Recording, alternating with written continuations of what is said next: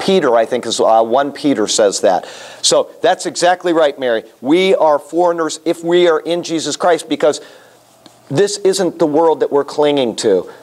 The world that we're clinging to is the one to come. Whereas other people, which goes back to what we talked about last night, the difference in Ecclesiastes. And we'll divert for 10 seconds to explain, in case you decide to read the book of Ecclesiastes. It's a very short book, it's, um, uh, 12 chapters, and it's very, very confusing when you read it if you don't understand his premise. And his premise is very simple. He gives you life under the sun everything under the sun, and he says it's all meaningless. He says it at the beginning, he says it at the end, and he says it throughout the book. And you keep thinking, this guy is some type of narcissist. He's saying, go out and enjoy your life and be merry and enjoy everything that comes to you, but remember that God will hold you to account for it. And you're thinking, you know, the whole thing makes no sense unless you see he's talking about life under the sun, and he's equating it or he's making a contrast to life under the heavens. What our life should be spiritually as opposed to what our life is physically. And if you read the book from that premise, you will have no problem understanding what Solomon is saying to us. And he sums it all up in the 12th chapter. But don't get confused to think that he's waffling in what he's saying. He's not. He's saying God put us here physically to enjoy what he made for us physically, like these fruit over here. Ooh, ooh, ooh. Oh, my mouth is watering just looking at them. That's why he gave us these things. Enjoy them, but understand that we will be held account for everything that happens to us and everything we do under the life in the sun because there is a life under the heavens that we should be looking forward to. Okay, having said that, what Mary said is right. We are pilgrims here looking forward to life under the heavens. So we are. But we're not living in the future. This is. That's right. While we're here on earth. That's right. And in that sense, we're dual citizens. We're dual citizens in the sense that we are here, we're constrained by this, Everything that happens to other people will happen to us, and we're to enjoy it and use it, but not to make it our only hope. It's to be something that we use until we leave here. This is not a real home. There's Christians, I think, who believe that they can kind of live their life in a bubble here because everything is out there. That's right. It's all in the future, and that is not. Have you heard the sermon? I've heard a million sermons say the same thing, and I'll, I'll use it someday.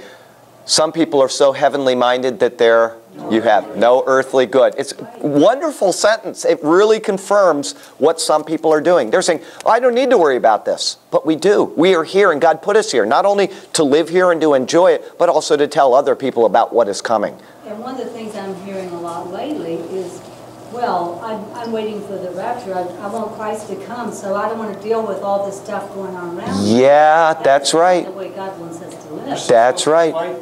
Yeah, oh, that's right. So we're, we're fighting, and at the same time, we're anticipating without losing sight of the fact that we are here. It's, it really is a double edged sword in that case. But didn't mean to divert so far, but I wanted to get that point out of verse number one. Is it, they were strangers. There was no contradiction in the Bible. And likewise, what Mary said, we are also strangers or sojourners here. And Abraham dwelt in the land.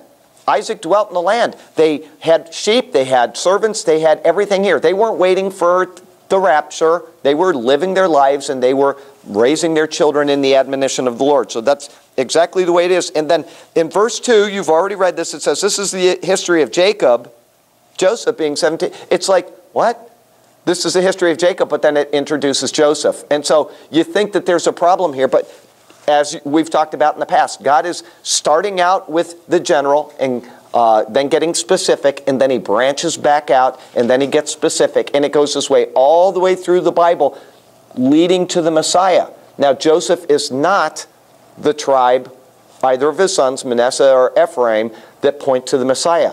But we're going to branch over to Joseph for a reason, and we're going to talk about it all the way through here. So, but Jacob is the one, and eventually Judah will be the one then the Davidic line will be. But we're, we're doing this, we're narrowing down, but all of these side stories have a purpose, as that one paragraph I analyzed yesterday in, in uh, which I, I, oh, we talked about that in this class last week. The poor Saturday class is going to already have all that information because it's only one paragraph, but it's a fun paragraph, isn't it? You know, Rachel goes down to Bethlehem. On the way, she dies. And all of that points to Jesus. And that's what all of this does. So, but didn't mean to cheat the Saturday class. They're way behind us. They're, if, if you, you who attend the Saturday class know they are way behind. Uh, we're back in chapter 15. Okay, so please go ahead. Chapter, uh, verse 2. pick up the beginning of the sentence. Okay.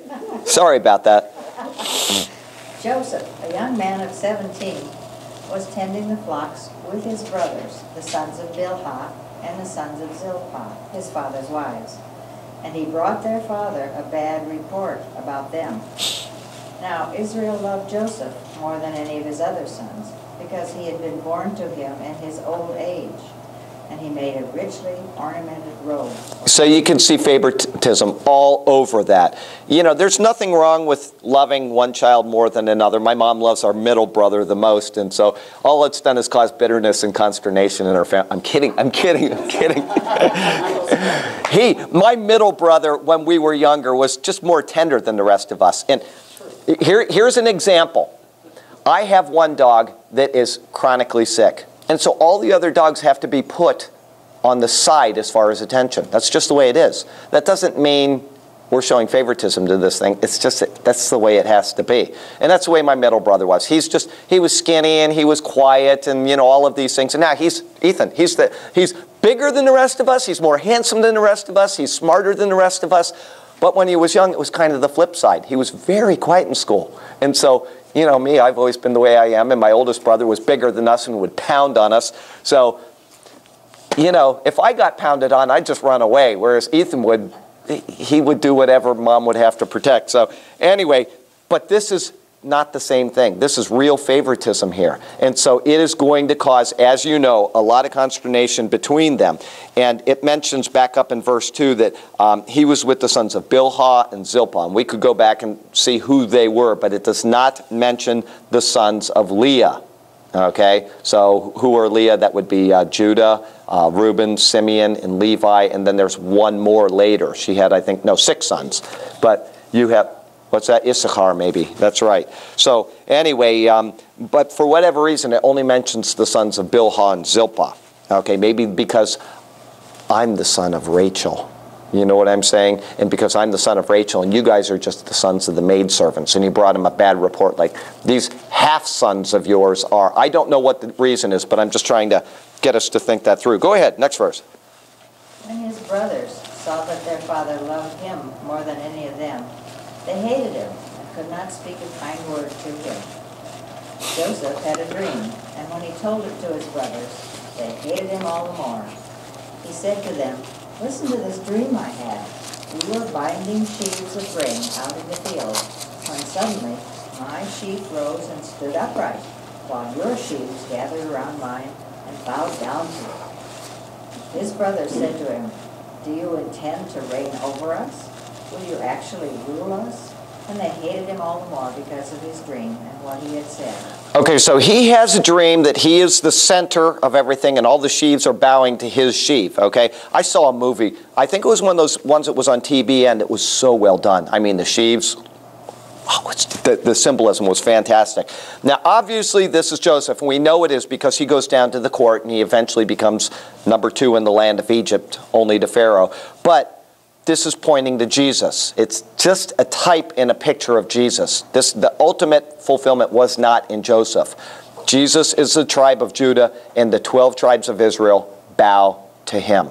Okay, so I just want to make sure that we don't get lost in the immediate for what the Bible is trying to tell us is that there is a greater fulfillment in the person of Jesus. Now, while we're at, oh, we're going to wait and we'll finish down to verse 9 and then we'll talk about something else. Go ahead brothers said to him, oh, wait, do that. Okay. Then he had another dream, and he told it to his brothers. Listen, he said, I had another dream, and this time the sun and moon and 11 stars were bowing down to me. Go ahead and read 10 too, because it's in the same. He told his father as well as his brothers. His father rebuked him and said, What is this dream you had? Will your mother and I and your brothers actually come and bow down to the ground before you? Okay. Oh, go ahead. Finish. His brothers were jealous of him, but his father kept the matter in mind. Okay. Kept the matter in mind does anybody remember anybody else that kept the matter in mind? Mary. Good job. Oh, very good. Oh, she pondered all these things in her heart. Absolutely. Okay, so um, uh, we have another dream.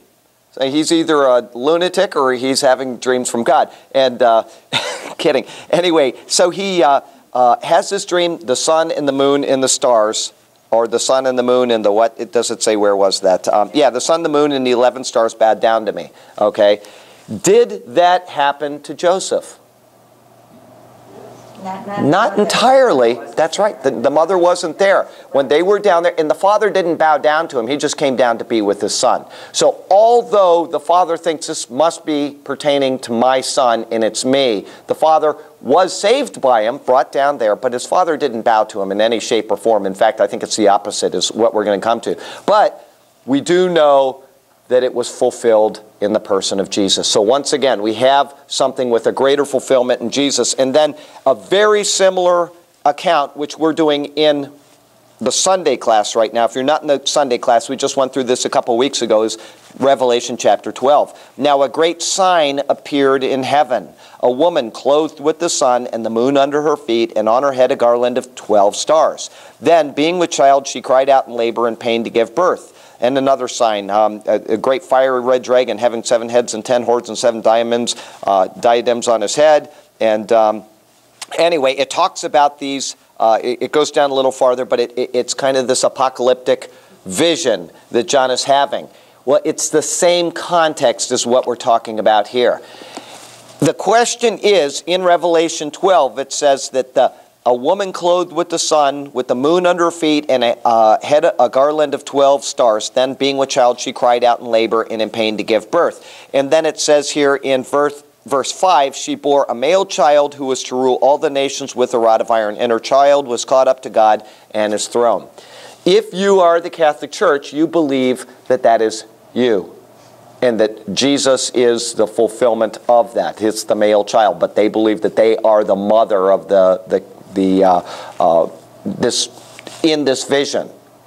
I've read that somewhere. I don't remember where, so I don't want to be like that's total church doctrine if it's just people in the church that believe that. I don't know which.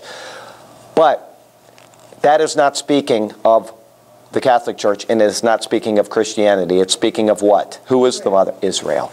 Because the child was born not from the church. The child was born from Israel, and the church was born from his life and death and crucifixion and resurrection. We came about after, not before. So in the book of Revelation, it is certainly speaking of Israel. But people turn things around because they want their theology to fit whatever they believe. As I've said in the past, some people say that uh, uh, they are the lost ten tribes of Israel. Have any of you ever heard that? Uh, uh, some denominations claim that we are the lost ten tribes of Israel. Or some Jewish people say, we know we're the lost ten tribes of Israel. Or some of them are in India, some of them are in Afghanistan. And they go to all these convoluted reasons as to why that's case, when in, when in fact there are no lost tribes of Israel at all. None. How do we know that? Does anybody know how we know that there are no lost tribes of Israel? Because after the exile of the ten tribes, after the exile of the ten tribes, which are considered the lost, and everybody goes back to that point, ten of the 12 tribes are specifically mentioned within the Bible, okay? By name of people coming down to Jerusalem to worship. And in the New Testament, even then, many of them are mentioned. Simeon, Asher, um, uh, what is her name? Uh, Anna, the daughter of Phanuel of the tribe of Asher. What's his name? Um, uh, Paul is of the tribe of Benjamin. These different people are from these different tribes. And three times, I believe it is, in the New Testament, Paul says it twice. Paul says it once, twice. James says it once, and I think Peter says it once. To the 12 tribes scattered among the nations. They knew who they were. And Paul, standing up in the court while he was under interrogation, while he was imprisoned, he said, This is the hope that our 12 tribes are presently waiting for. So he confirms there are no lost 10 tribes of Israel. Okay, so let the Bible interpret the Bible. And I don't mean to divert once again, but this is all pointing right back to this account right here. God had promised in the Old Testament to save a faithful remnant of all the tribes of Israel. And he has. He knows who they are. He knows now that they're back in the land which belong to which tribe. So there is a faithful remnant of the. Now, we don't know who the tribes are, and why is that? Why do we know, not know who belongs to what tribe? The records were destroyed uh, after the, um, At the destruction of the temple.